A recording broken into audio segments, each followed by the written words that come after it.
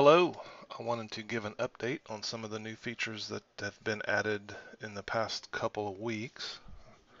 Um, bear with me, I have a list up out of the uh, view of the video, so I'll be checking it um, often. The first one um, is you can now upload the two types of licenses that the system accepts and if anyone needs a new license type added to the system let me know and I'll put it in there. Um, this allows you to upload your license and have it on hand. Um, where is mine? Here. There's one and then this is the same but it has a different disclaimer on it but for demo purposes it'll work just fine. So you browse you find them. Go up here and you hit save. And well my screen's a little narrow for the video but you get the idea here. So you can view it. Okay. There it is. And you can delete it. You can view this one and delete it as well. Now that kind of segues into the next new feature which is being able to email that quickly and easily to whoever needs it so from the sales page um, if there's an FFL required.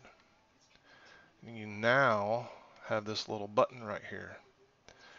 Um, one of the other new features is you can verify the information put here.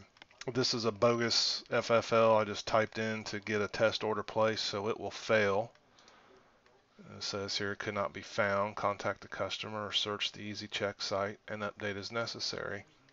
If the customer put in, typed in the information, it may be accurate, but for example, the FFL or the ATF um, records names, last name, comma, first name. So if your customer used the FFL search feature on checkout and found one on the map and clicked to use it, it will put that information, or it should, as it's entered um, at on the ATF's database, and it should verify just fine. But it's, it, it uses the number. I'm going to pause this and go find a, a FFL number that we can, uh, a real one that we can validate against. I, I'm going to use mine. I don't have the whole thing memorized, so I'll be right back. All right, so here's my full um, license number, and then if I verify, it should tell me that there were discrepancies. It was found, but some information did not match. Do you want to update this information? If you hit cancel, it'll say, okay, you know, you should contact the customer, search the eZ Check site, and update it on your own. But if you want to fill it in, just say, yes, you know, it, it changed it, but you still need to save the information. See, now it's changed. You'll still need to save, or this will, or this will get lost. Um, one thing that we don't get from the ATF is email addresses, so it can't validate that. You'll have to get that from the customer. It has been put on the checkout form now, so they can enter it, but it can't be pulled from the um, from the um, FFL lookup because we just don't get that information from the ATF. Okay, so so we verified it. Now let's say we want to send this FFL. Um, you know, our copy of our FFL because we're transferring this firearm to them for your customer. So you click this button and it's filled out for you. And it has the items, all of the um, FFL required items on the form or on the order. If you need to remove some of them, just come over here and delete them. I mean, you can change this. I mean, this is completely editable, but it, it gives you a starting point and um, this is, you know, this is your customer's billing info. This is their shipping info that that um, they put in. Um, the items that they they ordered and that you're sending to this FFL and your contact information. Okay, you can change the subject. This will be pre-filled with this email address. If you don't have an email address, you're going to need to get it. Obviously, though, you can you can change it if you want. Um, and then if you want to attach the licenses that you just uploaded and saved to your store, you can do that. You can attach any one or both or none. And then when you send it, it will send this email to this person with this subject. Okay. You can also do this from the A&D book, um, but it requires a little more uh, input on your behalf because it's not in order. Um, let's see.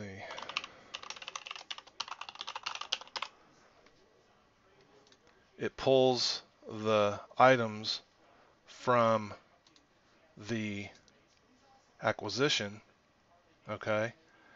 But it doesn't know anything about your customer because it's not coming from an order, it's coming from your logbook.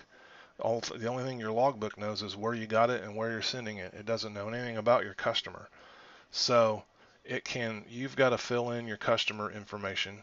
It gives you placeholders for that. You need to put in your customer name up here. You can change the subject altogether. It's got the items. Um, same basic stuff and you can attach your licenses. Now, the the one caveat about the um, the gun log is it's you know one uh, one item per email, you know one item per log entry. So if you're if, you know if all three of these were going to the same FFL, then you could send them three separate ones, or you can just click on one of them and then you know, manually add the other items down here if you want and just send one email. It's entirely up to you and what you want to do and how you want to do it. Okay. So there's that new feature. Um,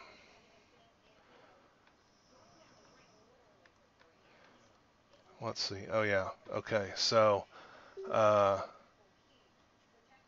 you have now the option on your import suppliers, you've got new pricing formulas. So sometimes when a supplier will put something on sale, it, eh, your your calculation up here. Now this I've obviously this is a crazy price calculation. I was doing this to test. I was ensuring that non-firearms always fell below the MAP and that firearms always fell way above the MSRP to make sure it was um, doing this properly so disregard this altogether. But um, so if your supplier puts something on sale and your normal pricing calculation would put it um, below the MAP, and we know what the MAP is. Obviously, if we don't have an MAP, this won't be um, used. But if you have an MAP value, a positive greater than zero MAP value for a product, and your pricing calculation takes it down below that, then you can create a price calculation for that instance for when price is less than MAP. And you have new token called MAP. You can use price or MAP in these. And the same over here, you can use price and MSRP for, I'm sorry, you can use MAP for these and you can use MSRP for these. So basically this is a real simple calculation that says when this price ends up below the minimum advertised price, use this formula instead. And this is a real basic formula that just says add $10 to whatever the MAP price is, and that's what I'm going to sell it for. All right, and this will give you more information and show you some example formulas. Okay. The same with MSRP. Sometimes a, a supplier may not give you much of a discount, and your um, your pricing comes out above the MSRP. Now on firearms, this could be a little tricky because you're adding shipping um, to the price. So um, you know keep that in mind. But um, when that happens and you want to you know make sure you're under the MSRP, then you use this formula down here. And in this one, you get this token MSRP. And again, this is a real basic formula that says if this price ends up to be over the MSRP, then use this formula and this will just say whatever the MSRP is, take $10 off of it. That's the price I'm selling it for. That's a real simple um, example, that's what I used to test it with. You could certainly do that. There's some more examples here. The one thing I don't have in the MSRP formulas are margins. I, am not real sure how to go about saying, you know, use a 20% profit margin and stay under the MSRP. That'd be a real tricky formula. Um, if, any, if, anybody has um, some ideas on that, let me know, and I'll certainly put those examples in there. Like it's real easy on the uh, on the on the map to do margin because you take the map price and you're adding to it. But how do you subtract from a price and still use margin pricing? I, I don't really know the answer to that.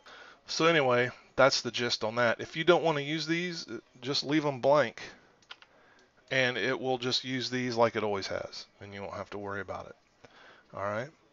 And then the last thing by request was um, on sales and specials, if you want to apply a sale to just on-hand items, quantities that you have on hand, you still have to choose the tags or the categories or mix and match these to get the products um, to be used. But if you only want to limit them to products that have an on-hand quantity, you check this box. Now, this gives you more info on it, but in a nutshell, it basically says you know, there's no real good way to determine when all of the products have been sold in order to automatically disable the sale. Since they're in-house on-hand quantities, items that you have in stock, um, you should know when you've sold the last one. And if you want to come disable the sale at that point, that's up to you. You don't have to. Um, what will happen is um, when they come up here and click on your sale, it just won't have any products in here. It'll say no products found. Um, we can do a quick demo of this if you want. This is a product I put in here. Let's just make this a zero. We'll hit save. Okay, now if you come over here and you go to the sale, it says no products were found. However, um, here's the product. Okay, it's, it doesn't exist in the sale, but this doesn't go away because I mean yes, it's possible to check, but you'd have to check on every page load and you have to search your entire product base to see if there's products for sale. It would slow down the site uh, quite a bit. Only thing this looks at is is a sale a valid sale, meaning does it um, does it have a you know is it valid? Is it enabled? Is it within the start and end date? Um, and and that's all it really cares about so, but you know, if you put a product back, um, then it will come back. And also notice the sale tag, the sale badge goes away regardless um, of this. So if you, if you know, if you go down to zero, um, the sale badge goes away, but this stays. And so you're going to have to know, okay, I've, I've sold the last in-house item that we had on that sale. I need to go into my store and disable this sale. You can leave it enabled, and then if you put more quantity back, you know, back on that item, obviously the this will repopulate again. So I mean, it's entirely up to you on what you want to do. So that is the quick update for March 13th of 2018 on some of the newest features. Um, these have just been added um, very recently. Um, I don't know if I've demoed it. The other one is categories can now uh, you can now feature your categories and you can assign pickup only to them. So I don't know if this was in the categories video or not. If you assign pickup only to a category, then any order placed that has any products that are in those categories will automatically switch to in-house in-store pickup regardless if you've got that option set in your shipping preferences or not. So if you want to sell ammo but you don't want to ship it, even if you don't have in-store pickup as a shipping option, if you flip um, your ammo categories to pickup only, then any products sold that exist in these categories, uh, the whole order will be flipped to in-store pickup only and they can't change it. Featured just means if you feature a category, um, it shows up on your home page. I must not have any ammo uh, imported. So let's see, what categories do I have imported? I have, uh, oh wait, I didn't give it an order. Maybe that was the problem. Oh, no, featured orders one. I don't have any ammo. Um, I think I've got firearms. Firearms. Featured. Give that a 10. Firearms. This is the title that shows up on your section, on your homepage section. Well, maybe I don't have any firearms. Oh, I hit the wrong button. Oh, yeah, I don't have. Oh, there it is. Nope, I don't have any. I don't know what categories these are in. Um, I've really um, butchered my test servers products. I should probably not be using it for uh, this type of thing, but let's see if this one is.